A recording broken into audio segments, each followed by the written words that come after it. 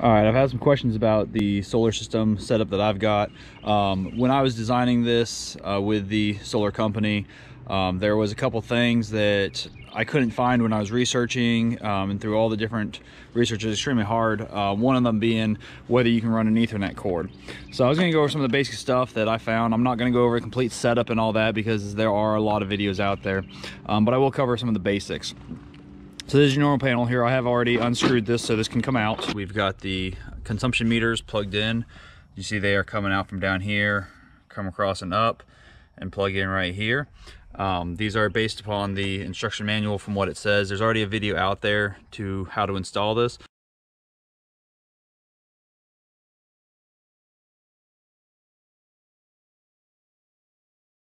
Um, you do have an ethernet you also have the Wi-Fi. I wanted Ethernet just for direct connection. Um, in the instruction, it does suggest to use a ferrule or ferrite. I'm sorry. Um, it is basically a magnet, um, and that is the one that they suggested.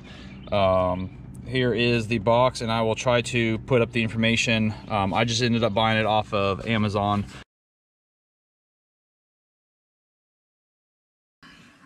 And you see it is up here um, to do that.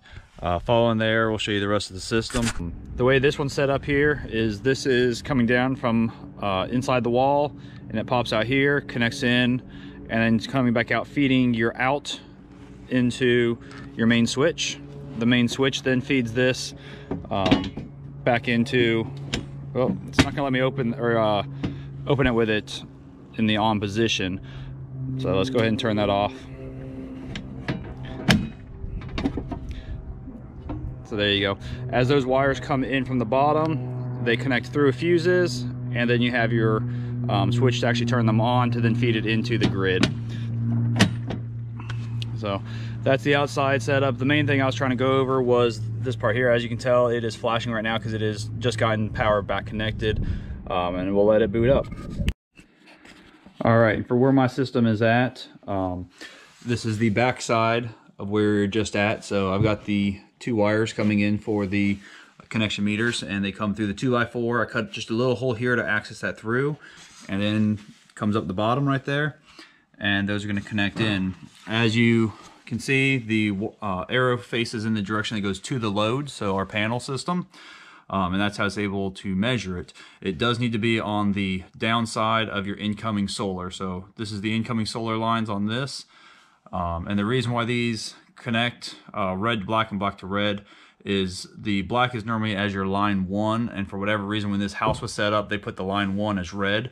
So the installers kept the black wire as line one um, as most systems normally are and that's why the swap is on here. All right and just some last minute stuff. For you guys are looking this is the one that i ended up doing off of ebay uh, this individual was pretty much the cheapest i could find it is a two pack and it is for the Enphase CT200 split uh, consumption monitoring. Uh, he did very fast shipping. I think I got it in like four days. Um, and basic quick install on that. So I did not get a picture or video of the initial screen. Um, you do get some extra um, selection parts consumed and imported. Um, obviously, I've only been doing this for just about a day now, so my selection is very minimal. Um, I have had to contact the customer service now um, three times, and I can go over some of what happened on that. Um, the first time, I do not have the installer kit, so I actually had to call them to have them install or turn on the uh, consumption monitors. Um, with doing that, um, they turned it on remotely. I had to make sure they had it on the net setting for me because I have the uh, the monitors on the downward side of that. Um, actually, I just got off the phone with them a few minutes ago. So as you can see, this is exactly what it looked like yesterday, except for it started off with three, and then it went to seven, and then like nine and 12 and 10. And as you can see, it's showing an error on them. Um, when I spoke with customer service, um, they really couldn't figure out why to begin with.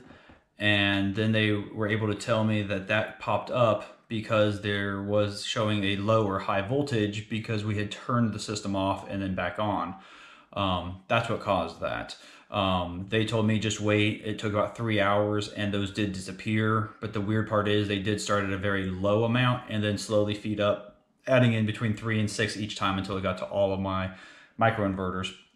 So I'm not going to mess with that right now because obviously it is still reporting all 24 because we just did this within the last 20 minutes.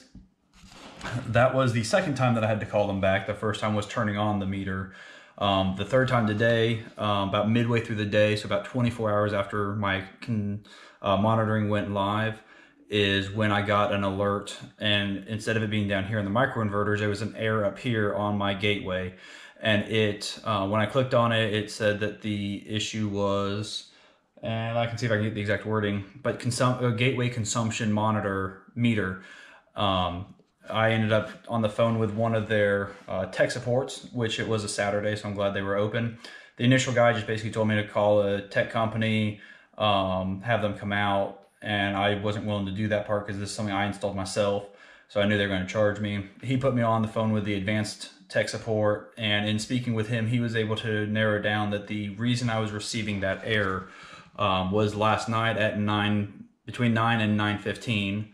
Um, there was basically an energy spike in consumption. It actually showed that it went the wrong direction, um, or a, a, spike. So when I was able to go back um, to right here, you can actually see where that occurred at.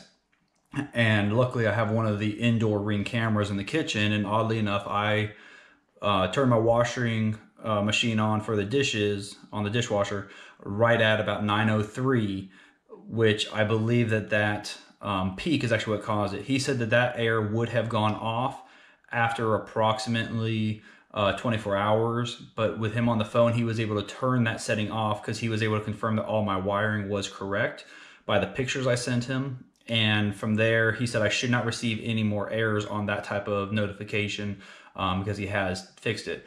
But that is something to keep your mind uh, on when installing these is you will have some weird issues that might arise. And sometimes all you gotta do is call their tech support. I've called them three times now, and every time, every person I've dealt with has been pretty good um, and responsive on it. Like I said, the only one was the first one today. He was kind of more just telling me to call, you know, an installer out. Um, when I told him I installed that part of it myself, he was still strongly suggested that was the best decision to do.